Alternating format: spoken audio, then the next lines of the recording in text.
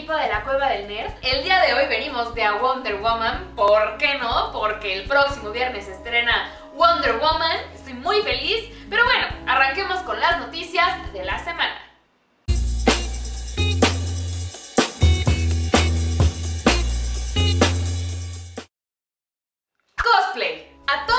Encanta hacer cosplay, específicamente en la parte que viene en el instructivo, en el que puedes salir a la calle con calzoncillos arriba de los pantalones, sin ofender, Superman. Generalmente los cosplays son interpretación, es por eso que si tu cosplay lleva algún tipo de armamento o armas, son eso, indumentaria, disfraz, mentira. Pero alguien se quiso pasar de listo haciendo un cosplay de The Punisher, ingresando armas reales a la Phoenix Comic Con.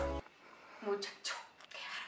El pseudo Punisher, mejor conocido como Matthew Sterling, afortunadamente no hirió a nadie. Eso significa saldo blanco en el suceso. Pero sí se les puso muy heavy a los policías de la Comic Con. Por información de la corte, sabemos que este personaje quería herir a Tommy, el Power Ranger verde, mejor conocido como Jason David Frank. Y después de su numerito, esto suma a su historial delictivo, intento de homicidio, 3 por asalto agravado, resistirse al arresto, la aportación de armas en lugares prohibidos. Ah, sumado el millón de dólares que tiene que pagar solo por la fianza.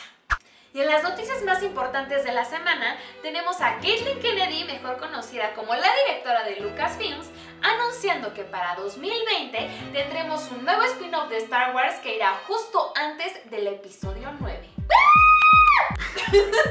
El definirá a finales de este mes y con esto se incluye a las películas precuelas del universo recientemente expandido de Star Wars. Yo la verdad quedé muy feliz después de haber visto Rogue One, así que tengo altas expectativas con estas películas.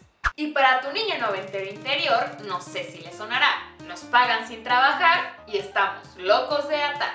Así es amigos, Netflix le va a hacer un favor a tu niño interior trayéndote de regreso a los Animaniacs. O al menos eso es el plan que tiene Warner, ya que esta serie se encuentra en los primeros lugares para hacer el proyecto de regreso. Así que no sé ustedes, pero yo sí estoy bien emocionada de volver a cantar. Nos pagan sin trabajar. Entonces, esperemos el regreso de Animaniacs. ¿A que no te vistes de enfermera, Mel?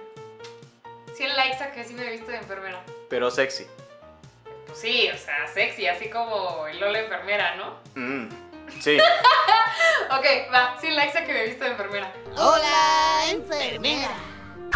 El departamento de mercadotecnia de Lucasfilm ha hecho canónico el cambio de dueño del sable de luz original de Anakin Skywalker a Rey. Y eso ha sido todo por el video de hoy amigos, muchísimas gracias por vernos, yo soy Mel, no olviden visitarnos en nuestras redes sociales, en todas nos pueden encontrar como La Cueva del Nerd y visitarnos en nuestra página www.lacuevadelnerd.com para no perderse ninguna noticia sobre el mundo del cómic, nerd, friki, de la cultura pop o como le quieran llamar.